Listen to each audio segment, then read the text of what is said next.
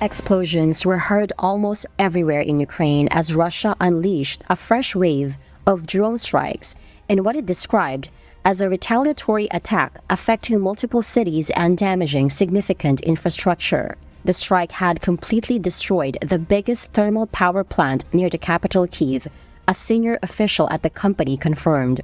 Other power generating facilities in various regions, including the one in Odessa, was also severely damaged. Ukrainian officials from north, south, and west regions have reported that the blast hit residential districts, high rise buildings, government offices, dormitories, schools, shops, and cafes, while six people were killed and 11 wounded in Kharkiv. Moscow used more than 80 missiles, according to Kiev, and warned that Ukraine might run out of air defense munitions if Russia keeps up the intensity of its strikes. President Vladimir Zelensky condemned the attacks as terror and restated the need for air defense support from the West. Anne Gonzalez, UNTV News and Rescue. We serve the people. We give glory to God.